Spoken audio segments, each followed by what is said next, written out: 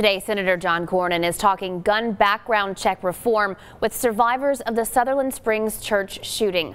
Cornyn visited the First Baptist Church where 26 people were gunned down November 5th.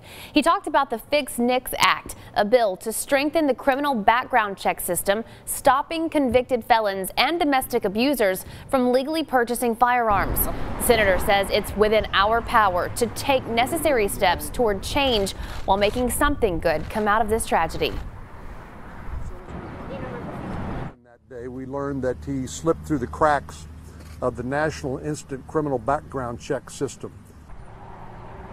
Now, several family members who had people lost in that shooting have filed complaints against the Air Force, alleging its failure to report the gunman's crimes led to the death of their loved ones.